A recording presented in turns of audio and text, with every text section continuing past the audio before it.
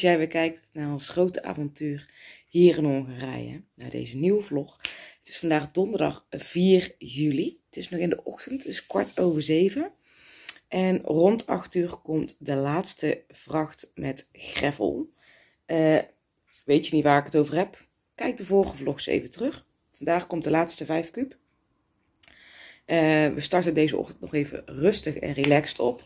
Het is nou vandaag en morgen nog uh, vrij uh, frisjes. Vrij frisjes, 24 graden gaat het worden vandaag. Uh, maar daarna is het pret echt over en wordt het de komende tijd alleen maar heel, heel, heel, heel erg warm. Dus dan gaan we weer heel vroeg uit de veren. Maar nu gaan we nog eventjes rustig en starten we de ochtend nog even rustig op deze twee dagen. We wensen heel veel kijkplezier met deze nieuwe vlog.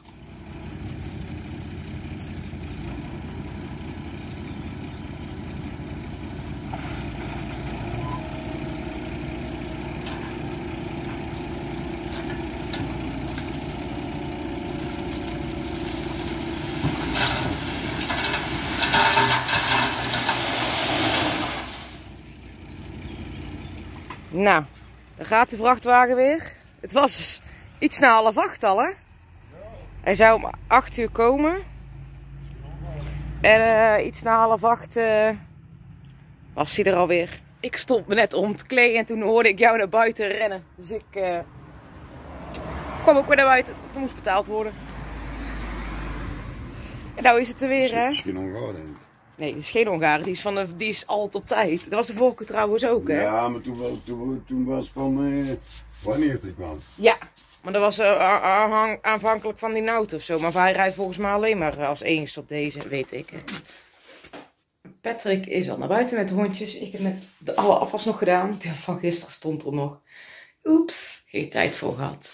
De broodbakmachine staat al aan. En de eerste was is alweer gedraaid. Uh, want het huishouden liep ik wel een beetje achter. Maar ja, uh, kan niet overal tegelijkertijd uh, zijn.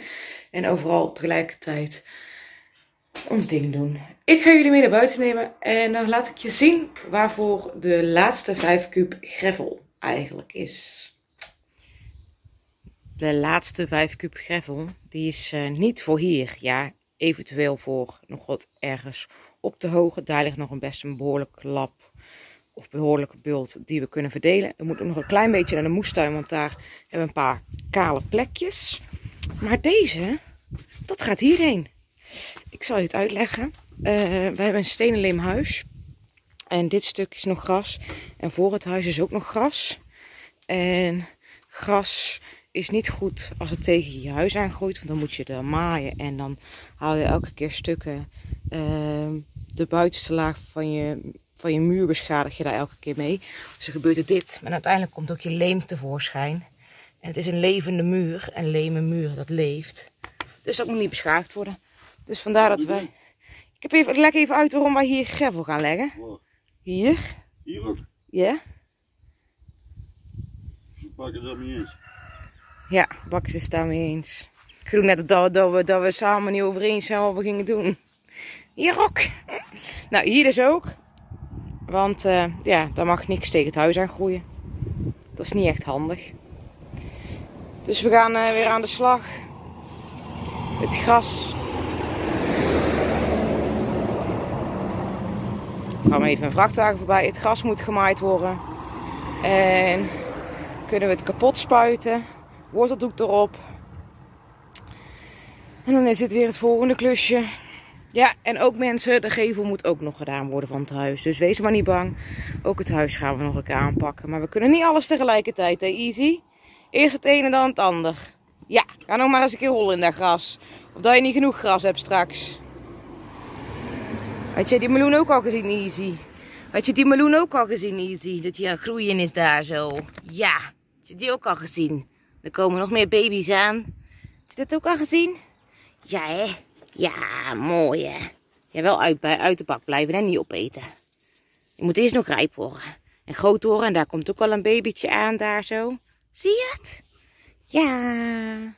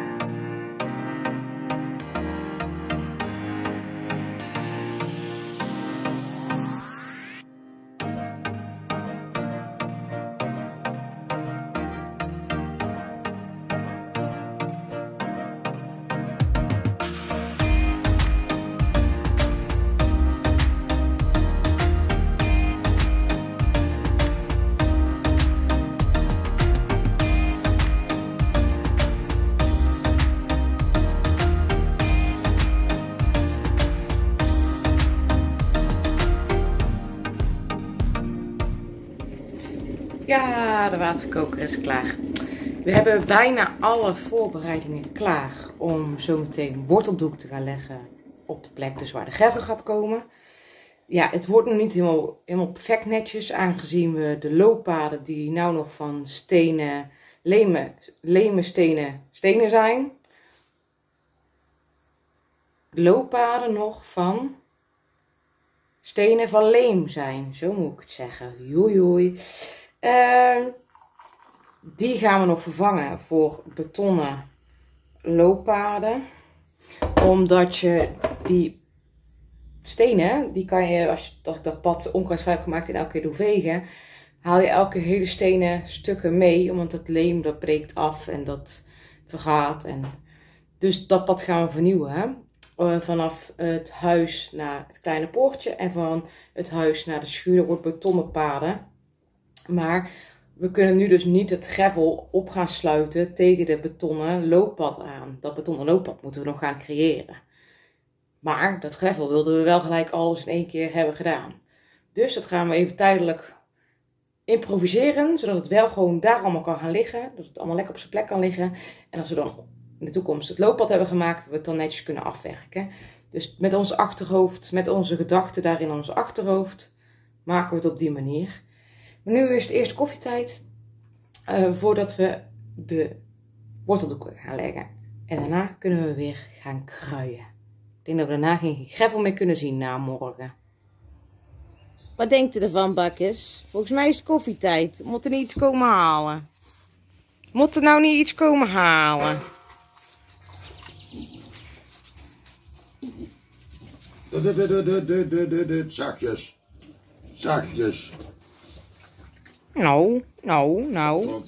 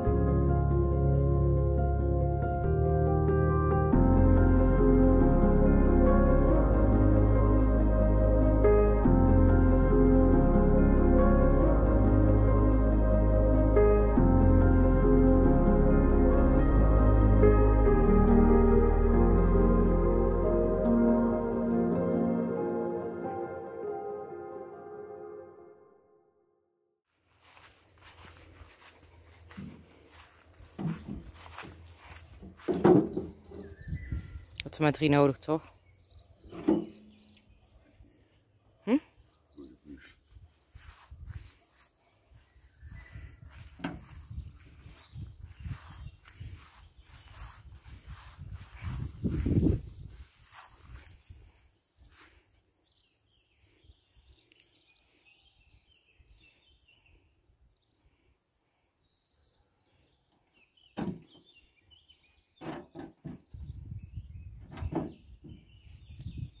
Achteraf hadden ze ook samen even kunnen tillen.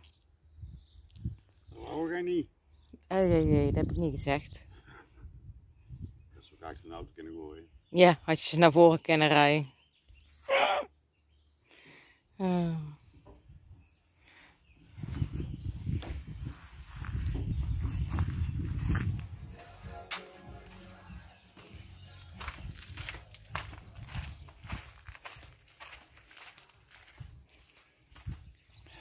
Hoe warm is het?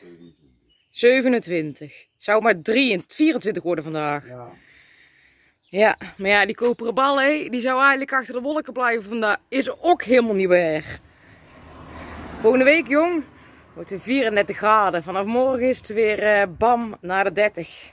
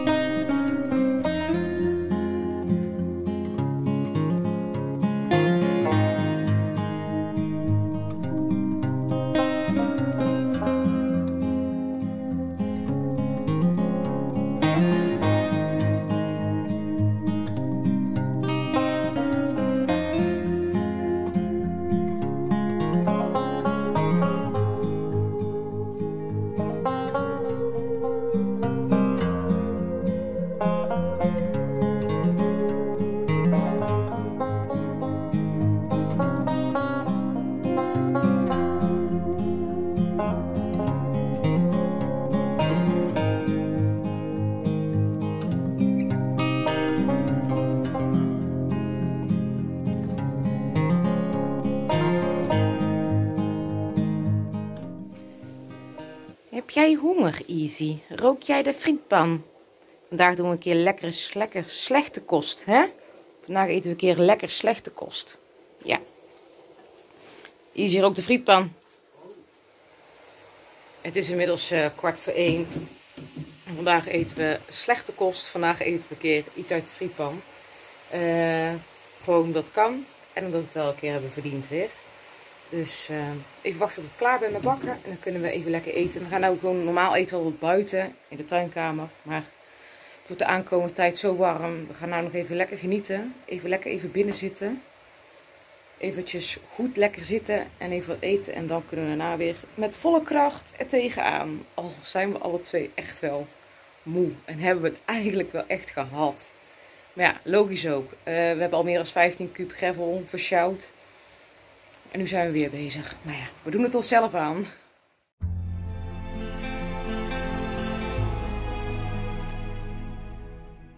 Kom maar, bak, bak. Ga maar mee. Want is de baas nou zonder jou en Easy naar buiten gegaan? Dat kan toch niet? Nou, het is inmiddels eh, tien voor half drie. Het is bewolkt. Yes! Ja, we zijn er gewoon heel even blij mee. We hebben een eh, korte powernap gedaan na het eten. We hadden twee even ons ogen dicht gehad. We hadden het echt nodig. Want ze hadden vandaag bewolking voorspeld en dat was er niet. En het was bloedje heet. En nu is het bewolkt. Kunnen we weer verder met gravel. Oftewel, op zijn Hongaars, karfiets, kruien. En dit verder dichtgooien. En daarna dit. We zijn momenteel heel even aan het puzzelen. Want dit loopt allemaal helemaal niet recht natuurlijk. Dit loopt allemaal zo. En dit pad loopt ook helemaal zo. En vanaf dat poortje, vanaf die lijn, vanaf die paal willen we zo tot hier aan dit betonnen stuk bij de deur willen we een recht pad maken in het verlengde van dat poortje. Maar je kan niet dat hier gravel gaan leggen, want dan rolt het er allemaal af. Dus we gaan tot aan de boomstam waar het vogelhuis op staat, aan die kant grind leggen. Leggen we hier de betonnen osloop op leggen. De, de betonnen palen van achter, van het hekwerk, die leggen we erop. Draaien we het even in, dat het doek erin ligt gerold. Dan ligt in ieder geval hier de gravel erin en aan de voorkant. Totdat we hier een betonnen pad gaan maken. Maar dat is uh, zorg voor later. Kom eens hier. Wat heb jij gedaan? Volgens mij ben jij met je snuit in de gravel geweest. Kijk eens hier. Kijk eens hier. Oi, oi, oi, bakkes. Een beetje nat maken.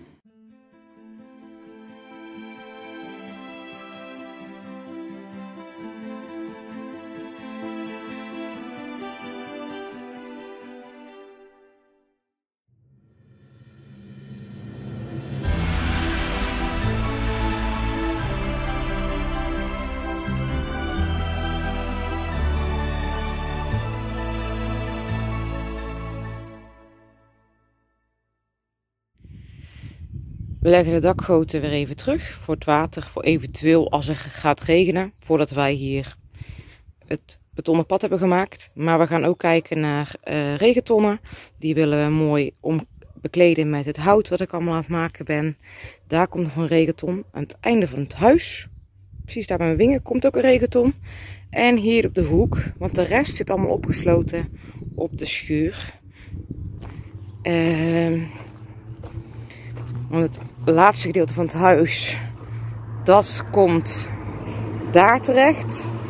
Dat gaat weer met een vertakking naar de schuur en dat gaat later dus achterin bij het veld in een IBC-tank. Zodat we al het regenwater dat we opvangen gewoon weer kunnen gebruiken. Maar voor nu doen we het even tijdelijk zo totdat we regentonnen hebben.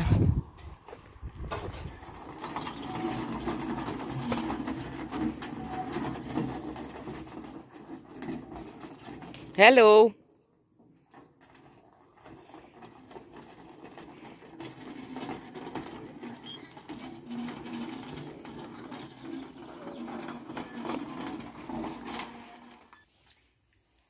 Ja, dan straks nog een keer, zeg maar, of niet?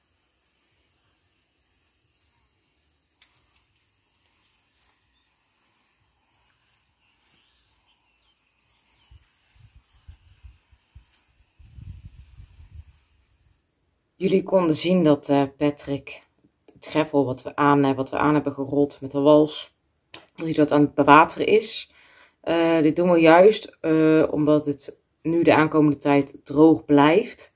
En het anders met eventueel wat windvlagen, het stof, de poeder wat ertussen zit, gaat opwaaien. En dat is niet zo fijn, omdat alles dan weer vies wordt, alle ramen. En ik moet binnenkort dus echt weer alles gaan soppen.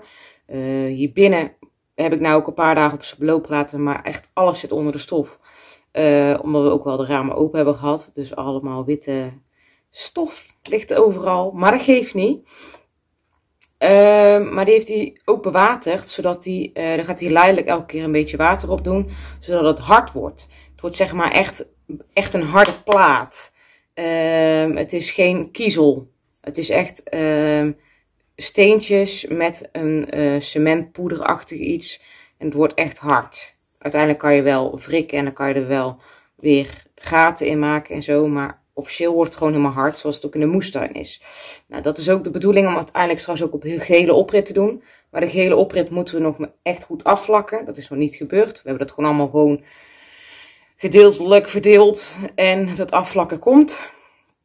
In ieder geval rondom het huis hebben we nu dus wel gedaan, dat strookje. Nou, dat komt aan het naaste trappetje als je naar buiten loopt, aan de rechterkant. Uh, waar nou de honden elke keer eten krijgen. Daar gaan we ook gravel doen. Een hele dunne, smalle strook. En de looppaden worden dus beton, heb ik al verteld.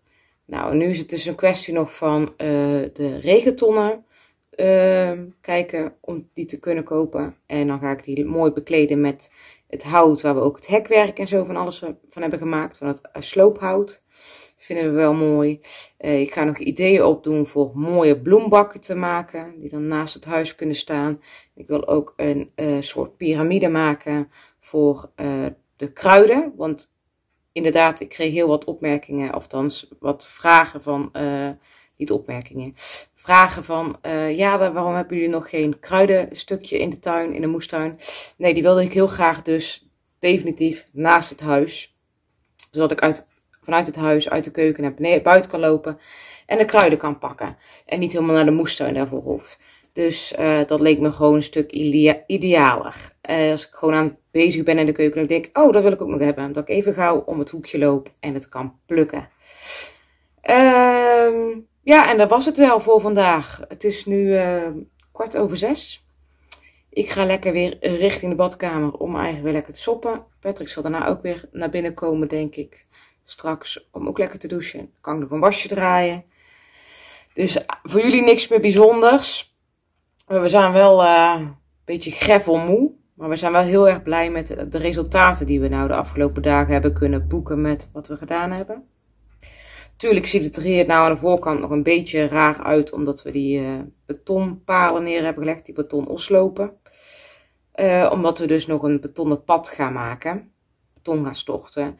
En uh, het gravel nu nog niet op kunnen sluiten. En we willen niet dat het wegzakt of wegrolt. Of, hè? En ja, daarom ziet het er nog niet helemaal perfect uit. Maar het is al heel wat beter als wat jullie konden zien in, hier in de vlog. Hoe het in 2020 eruit zag toen wij de sleutel van ons huis kregen. Toen voormalig ons vakantiehuis. Nu wonen we vast. Vonden jullie deze vlog weer leuk? Doe met duimpjes omhoog. Laat een leuke reactie achter. En vergeet je niet te abonneren op ons kanaal. Zo mis je niks van onze avonturen. Want we hebben weer nog genoeg te doen. Zoals we al vaker hebben gezegd. En dan zien we heel graag weer tot bij de volgende. Dus uh, tot morgen. Doei doei.